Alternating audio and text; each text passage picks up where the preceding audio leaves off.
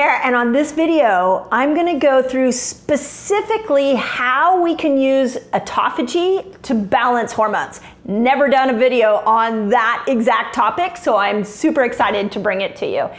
And those of you that are new to my channel, I just want to say welcome. I am a woman on a mission to get you believing in yourself and using fasting as this incredible tool for self healing. So, welcome.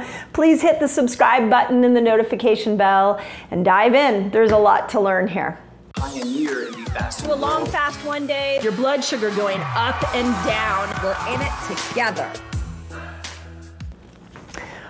Okay, autophagy. It has become this crazy buzzword. In fact, I've got to let you all know that one of the first videos that took off here on my channel was when I explained what autophagy was and what hour of fasting autophagy got stimulated.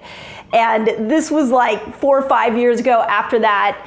Um, those of you that have been with my channel that long have been asking me deeper and deeper questions about autophagy. So I wanted to bring you specifically how we can use autophagy to clean up hormones. And I'm primarily going to be talking about sex hormones, and this does relate to both men and women. So, men, don't jump off. There, uh, you're going to hear that there is a way that you can use autophagy and lots of different ways to stimulate autophagy to balance hormones like testosterone. And I hope you all know that my new book, Fast Like a Girl, is ready for pre order, and this is a fast training week. So, we are doing autophagy fasting for this fast training week. It is one of the six fasts I highlight in Fast Like a Girl. So, make sure you pre order the book and you can get the companion guide here where I will go through all six fasts. I have a lot of little little extras in the companion guide this time that tie into the book. You can pre-order the book and win a free Dutch test. So all of that is in the companion guide. All you got to do is put Fast Like a Girl companion guide in your comments and my team will send you a link for that. So, but let's dive in. I, let's get to the meat of this. Here's what I want you to, to think through. When we get really excited about autophagy, what I want you to understand is that your body came pre designed with a self healing detoxing mechanism. We call it autophagy. That's all that fancy word means. And what I also want you to realize is that there's a lot of different types of autophagy. So, different parts of our body actually do different versions of autophagy. For example, I've talked about this before that mitophagy is how your mitochondria use autophagy to clean themselves.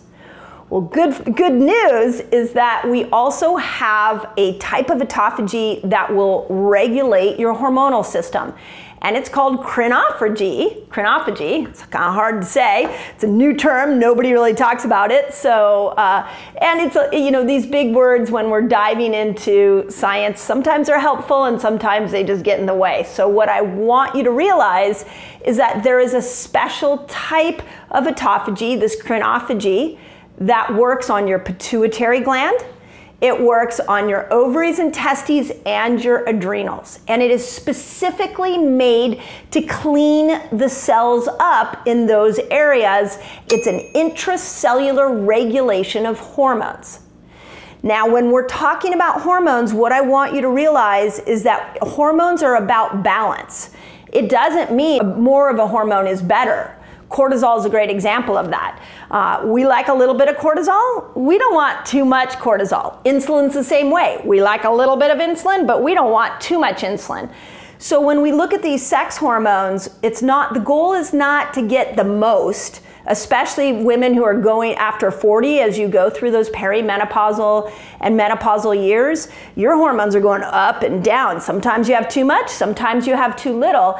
And this is where crinophagy can come in and help to regulate the hormonal production and the receiving of hormones in those parts of the organs that regulate your sex hormones. So it's super cool, and this is the reason I want to make that nuance clear to you is you're in control. You're the one that's doing the self healing. This is why I love fasting because it shows you how you can heal yourself. And when we tap into crinophagy, we can heal this whole team of organs that are working so hard for you to balance out your hormones. So that's the first thing I want you to know. Second thing that I want to say underneath the topic of crinophagy is that with estrogen specifically, so remember that there's a lot, when we're dealing with hormones, there's a feedback loop.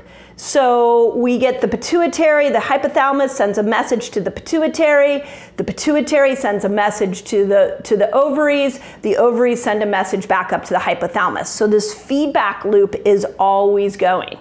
And there are certain things that we know about estrogen and autophagy. For example, when there are proper amounts of estrogen, it can actually help stimulate autophagy. You need estrogen to stimulate autophagy. We also know that when you go into autophagy, you clean up the organs that help to make estrogen. So there's this beautiful marriage between estrogen and autophagy, and it works in this feedback loop.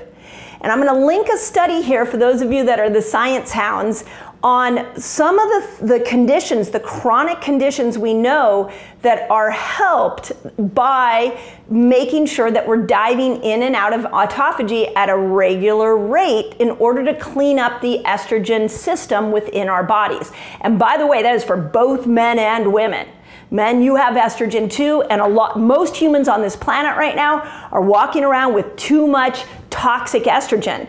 So when we use autophagy and we and we clean up the organs and we balance that intercellular estrogen level inside the cells, you're now preventing diseases in these particular uh, organs. And this is based off of a, a meta analysis study that I will link here in the notes so you all can dive in and see it. Here the, here's what you can clean up using autophagy breast, kidney, bone, ovary, and check this out, you can balance your, your uh, nervous system, your central nervous system.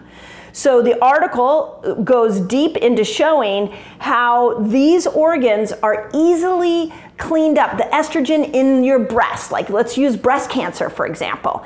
We know that you can balance out your estrogen levels by going into different phases of autophagy, and we're going to talk about that here in a moment. So, really cool when we see that certain tissues are very sensitive to cleaning themselves up when we move in and out of autophagy. Okay, now let's dive into some practical ideas here that I want you to know. So this is a little nuance that I, I don't feel like we've talked about enough here on my, chat, on uh, my channel, and that is how do you stimulate autophagy? Now, we've talked about it in terms of fasting, but I have a whole nother video for you where I'm going to show you foods that will stimulate autophagy, and I'm going to show you activities that will st- stimulate autophagy. But what I want you to know is as I was preparing for these videos and I was diving into this research, it became very clear that one of the best ways to get autophagy going in your body is to put yourself in places where there is a hormetic stressor that activates autophagy. Let's use fasting as an example. If as you learn to fast, there's always, I mean, we all have this, there's always a moment where it's tough and in that moment, you're like, what did I do? Why did I sign up for this? Why did I listen to that crazy lady on YouTube who told me to fast for 17 hours? And you get to that place where it's uncomfortable. Don't give up there. That's the beautiful place because that is a hormetic stress, and the body goes, hmm, I'm under stress right now. I better stimulate autophagy. And that is what we want. So you cannot stay in comfort and, and, and initiate autophagy. That doesn't happen. With mTOR, that can happen because mTOR is the opposite of autophagy for those of you who've been watching these videos for a while. But autophagy needs you to have a little bit of a hormetic stress to be able to initiate it. So in fasting, we say 17 hours is where we start to see it initiated. And I wrote all of that out, by the way, in Fast Like a Girl for those of you who want to dive into the nuances of fasting and autophagy. But I want you to realize you got to get a little uncomfortable to get autophagy stimulated. Okay, other things that I want you to know about autophagy is that and I get this question a lot what pulls you out of autophagy?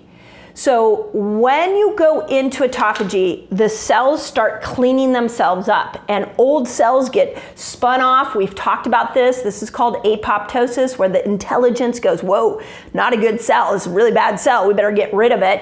And it gets rid of it. Heavy metals will get pushed out of the cell. Viruses die off in the cells. So there's a lot that's going on when we stimulate autophagy. And sometimes that can be uncomfortable. So, what do you do to pull yourself out because you're uncomfortable, or what do you do that you may inadvertently be doing to pull it, pulling yourself out and, and that you don't want to do? So, is very, very simple. Hormetic stressors put you into autophagy, and what pulls you out specifically is when your glucose goes up, when your protein levels go up, and when you eat in general. So it's not just glucose, but when nutrients go up. So it's glucose, it's nutrients, specifically nutrients that are associated with protein, but a lot of the vitamins and the minerals and the amino acids, if, if you get too many of those, you'll pull yourself out of autophagy when glucose goes up, and then protein. So anything over 20 grams of protein is gonna pull you out. Now, Here's the million dollar question. I hope you, those of you that waited till the end of this video, you, you're in for a treat. I probably should have mentioned this in the first part. How do you measure autophagy? Oh my God, we've been talking about this. Everybody's been asking this. I've been saying we got to get a CGM of some kind to be able to measure it. But my friend Dr. Boz has come up with a really good ratio, and, and kudos to her. Here's the ratio you take glucose and you divide it by your ketones. And what you're looking for is when that number is 80 or under, you're now in a weight loss version of autophagy, according to Dr. Boz. And, and, and if you listen to the interview that I did with her here on the channel, you can go find that video. Um, she said it was her best guess. It was the best guess she could do. She created this ratio to be able to help her mom who was going through cancer. So anything under 80 is where we're starting to see autophagy stimulated for weight loss. Anything under 40, when that ratio is under 40, we're starting to see the immune system get reset. So that means you got to get glucose down and ketones up to be able to make that Boz ratio go under 40. And anything under 20 is where we start to see reversing chronic disease. So now where do hormones fit into that? This is a question I had asked myself as a menopausal woman like, okay, well where do hormones fit into that? And I think if we are somewhere between 80 and 40 in the Boz ratio, that you are starting to repair this hormonal system, that you are stimulating crinophagy, which is that part of the, the mechanism of autophagy in the hypothalamus, pituitary, and adrenals, ovaries, testes. I think we want to shoot somewhere between 40 and 80. So there you go. There is just a big overview of how we can look at autophagy with, with hormones. Uh, I wanted to leave this as a foundational uh, video for you so you understand the ideas before I get into the application. On the next video, I'm going to show you how what we use food to go into autophagy, and I'm going to show you a few other activities on a video after that. But it is fast training week, and so we're diving into new concepts, learning new things, and autophagy and hormones. It is it's a beautiful system you already came programmed with. You don't have to buy anything. You just have to learn how powerful you already are and how to stimulate this self-healing mechanism we call autophagy. So, as always, I hope that helps.